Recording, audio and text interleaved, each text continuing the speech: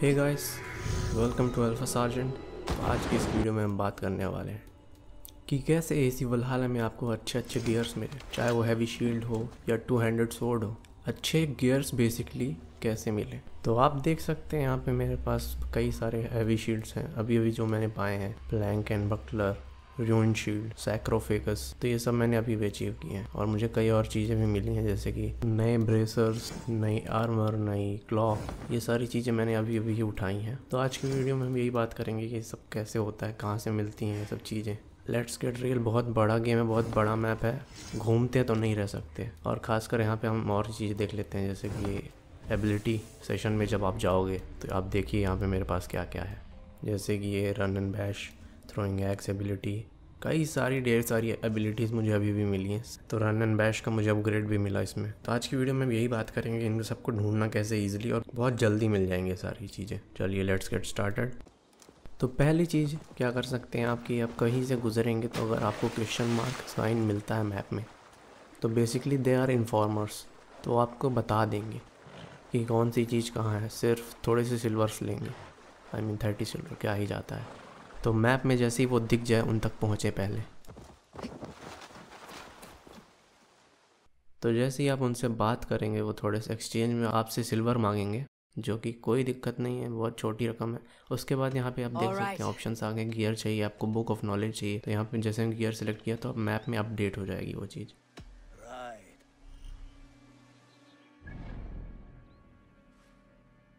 जो ज़्यादा चमक रहा होगा ना वो ये रहा। मिल चुका है हमें।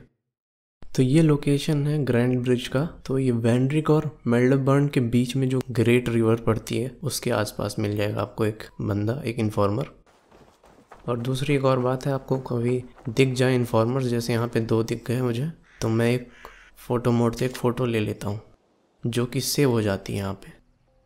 तो आप मैप में अगली बार ऑनलाइन आएँगे तो आपको इमेज दिख जाएगी तो आपको पता चल जाएगा कि तो एक हैंडी फीचर हो जाता है फ़ोटो मोड का इस्तेमाल। ऐसी जगहों पे करना। चाहे आपको इनगट्स मिले, कुछ भी मिले तो आप एक जल्दी से फ़ोटो मोड से फ़ोटो निकाल लो उनकी। उसके बाद सारा काम कलेक्शन का है, बस उस जगह जाना है, जहाँ भी बताया गया है बुक ऑफ़ नॉलेज है या फिर गियर है। बस वहाँ जाओ, चीज़ें उठाओ, बस धीरे धीरे तो मुझे अभी अपग्रेड मिला रन एंड बैश का। तो ये सारी चीज़ें मैंने अभी जल्दी जल्दी निपटा दी हैं। ढेर सारी एबिलिटीज़ उठा ली हैं और ढेर सारे अच्छे गियर्स तो हर बार शायद बहुत ज़्यादा कूल एबिलिटी या कूल वेपन ना मिले। सो डू नो दैट आपको आर्मर मिलेगा गियर के नाम पे। या कोई मास्क मिल जाए शायद। कभी कभी अच्छी एबिलिटी ना मिले शायद। कभी अच्छी एबिलिटी मिल जाए। इसके अलावा अगर आपको ये पसंद नहीं कि आपको ये क्वेश्चन मार्क ढूंढना पड़ रहा है अगर मैप में तो फिर आप दूसरी चीज़ ये कर सकते हैं कि रेवेंस थोप पर वापस जाके कार्टोग्राफर से बात कर सकते हैं। तो अगर आपने ये बिल्डिंग नहीं बनाई है it's the right time to do it यहाँ पे आपको सारी इन्फो मिल जाएगी रिगार्डिंग इनगर्ट्स बुक ऑफ़ नॉलेज गियर यानी एबिलिटी और वेपन सारी यहाँ पे आपको एरिया वाइज मिल जाएँगी। जैसे यहाँ पे देख सकते हैं सारे नाम, पढ़े स्किरोस्कर ईस्ट एंग्लिया हर चीज़ यहाँ पे है। उस हिसाब से आप पर्टिकुलर लोकेशन पे जो ढूंढना चाहते हैं, बस उसमें आपको क्लिक करना होगा यहाँ से। तो ये आप बिल्ड कर सकते हैं कार्टोग्राफर का बिल्डिंग जल्द से जल्द करने की कोशिश करें। शुरुआत में ही कर दें, मुझे भी बाद में पता चला। तो यहाँ पे मैं किसी भी एक चीज़ को क्लिक करता हूँ तो मैप में अपने आप अपडेट हो जाएगी। तो यहाँ पे जैसे मैं मैप ओपन करता हूँ तो ये जो सबसे ज़्यादा चमक रहा है, ये रहा। ये आइकन यहाँ पे आप देख सकते हैं। तो बस अब यहाँ तक पहुँचना ही काम बचता है। लेकिन कई बार आप अजीब जगह फंस सकते हैं, क्योंकि अच्छी चीज़ें थोड़ी मुश्किल जगहों पर मिलती हैं। तो आपको थोड़ी बहुत फ़ाइट लेनी पड़ेगी।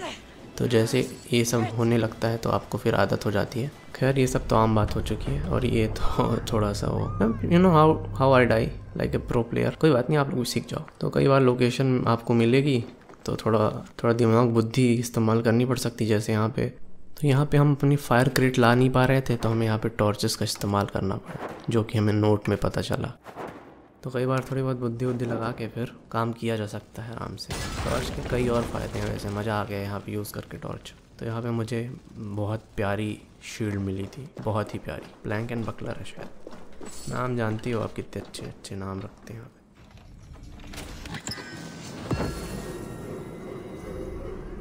तो इसके स्टैट्स मुझे सबसे ज़्यादा अच्छे लगे अभी तक। तो मैं अभी सार्कोफेगस शील्ड यूज़ कर रहा हूँ। So I think I am going to use it from now तो ये अब मेरी मेन शील्ड बनेगी।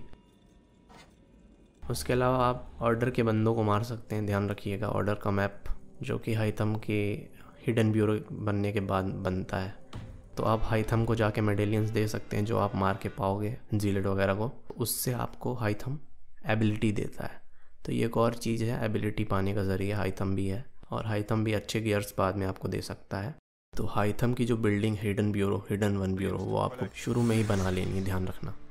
बहुत फ़ायदे हैं इसके।